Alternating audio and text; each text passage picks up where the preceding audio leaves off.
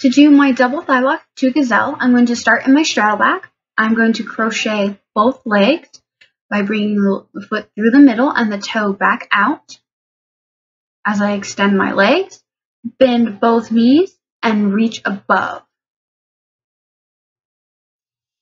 To ease the transition into the double thigh lock, I'm going to bring my legs into a pike and then press into my straddle as I pull up with my arms. To get to gazelle from double thigh lock, I'm going to bring both hands to one silk, it does not matter which.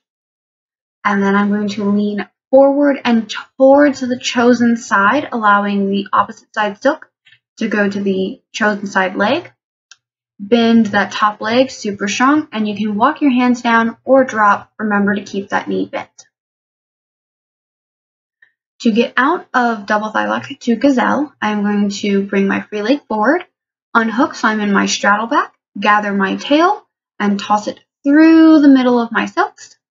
I'm going to sit up as I bring my legs down to come out of straddle back.